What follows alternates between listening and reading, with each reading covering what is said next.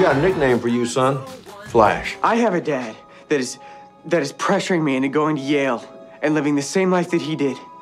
That includes having a wife. What's wrong?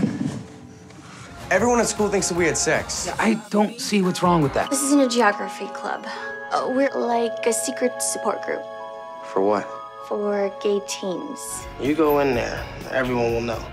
That's the point. That was incredible.